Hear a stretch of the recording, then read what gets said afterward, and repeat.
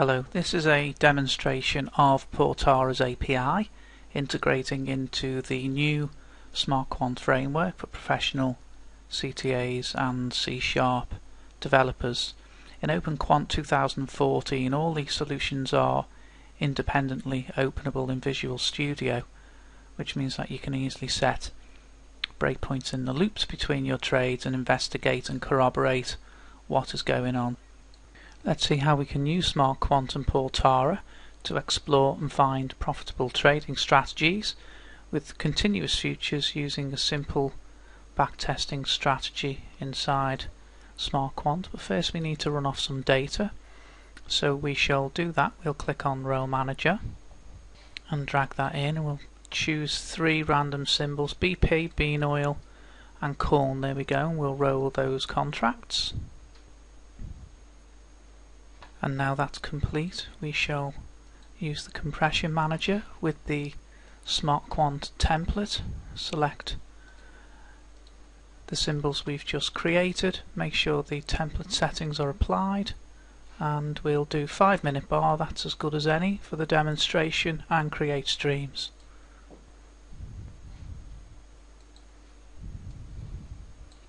So now we've got data. Let's open up the Bollinger Band solution in Visual Studio and we'll look at how easy it is to get Portara's API in. I've already done it here and all you need to do is right click on references, add reference and then point to the program folder and into Portara and pick up the Portara API DLL in there. It's as simple as that. Okay, and then once we're done, we shall open the C Sharp scenario file and we'll take a look at how we, we make calls into that API. Okay, so let's examine the code. I'm going to set a breakpoint and run to that breakpoint and there's a couple of variables that you need to set an extension it doesn't have to be txt it can be anything you want but, but SmartQuant does favor txt extension the database can be off the intraday or the daily in this case it's 5 minute off the intraday database and the compression is 5.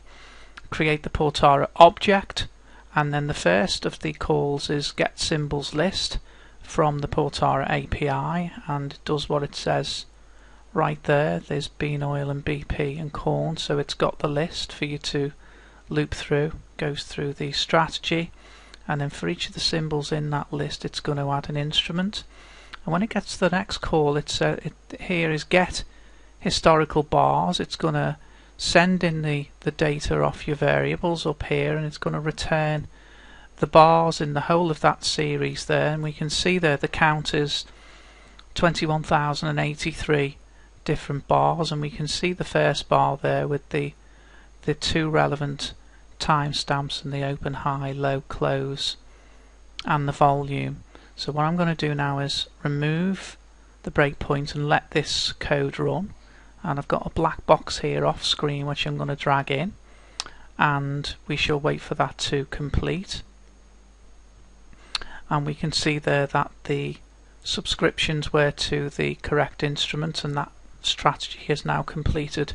So now let's return to SmartQuant and have a look what's going on inside there. So we're back into OpenQuant we're going to click onto Bollinger Bands and open the scenario in the Bollinger Band strategy. And I'm simply going to copy and paste in the code we were working with in Visual Studio. So it's exactly the same. I press the F7 key to compile and now I'm going to press the the F5 key to run that. And we can see here that that is running successfully. And now it's finished I'm going to go to view and chart gapless and we'll take a look at the chart. If we scroll all the way back to our inception date we're looking at a beautiful continuous back adjusted stream of bean oil. And if I pull the chart down we'll just see where we're up to. The first bar in there is a high of 3971 3970 3971 and if we pull the file down to match there's the 0725 bar 3971 3971 270 so we've got a perfect match and if you need to see what the symbol it was it came from and derived from there is the 2014 March contract on the bean oil all sessions. So we shall move that back up there and we can move through our files and our symbols. There's BP and we've also got corn there back to our inception dates okay now we've found a working trading signal, we may want to zoom in on the roll process and optimize and automate the transactions there. In SmartQuant this is known as a sell-side strategy. We need to make data in Portara available to sell-side strategy calls to the Portara API. So let's look there first and then back to the Bollinger Band solution in Visual Studio. We can place Portara into sell-side strategy mode for SmartQuant we simply select the flag here SmartQuant sell side mode and we'll check that that's on. It is and we're all good to go. So the first thing we need to do again is click on the roll manager and we'll drag that in and roll contracts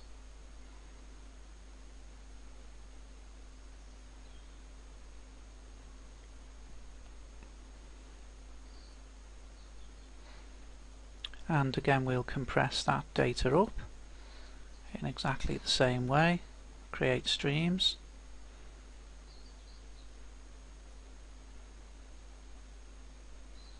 And we're done.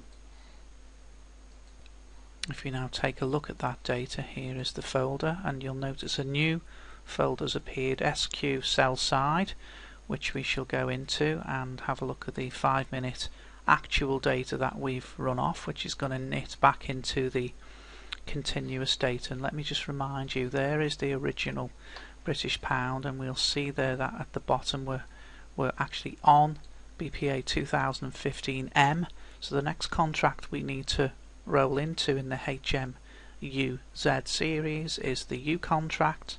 So let's take a look at BP that we've just ran off with the sell side and we drag that in and there's the U contract there that we're going to knit into at some point which is all the the actual data. Okay. And now that we've created our sell side data we've opened up Visual Studio and the Bollinger Band solution once again. I've placed a, a breakpoint in here and we're going to run to that breakpoint and we'll have a look at some new calls to the Portara API that I've placed in here so the first thing we need to do is create the Portara object.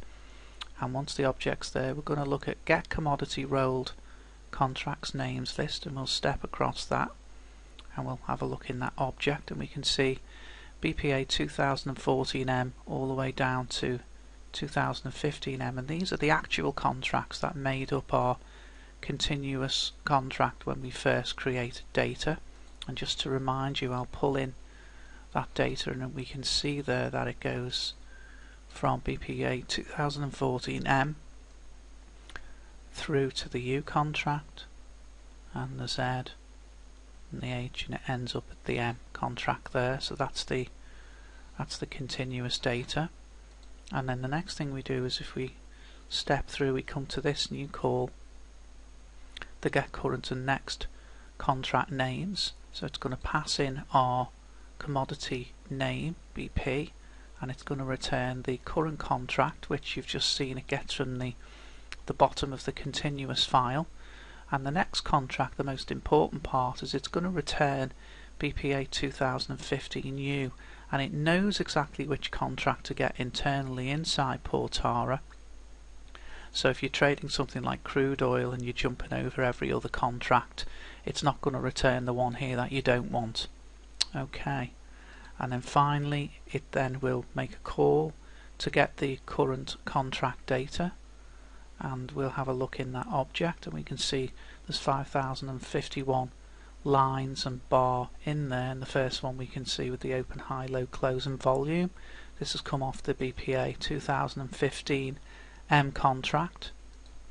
And finally a call to the next contract data which is the sell side data which you you saw us create with 1211 bars in there and the first bar there showing the open high low and close and the volume.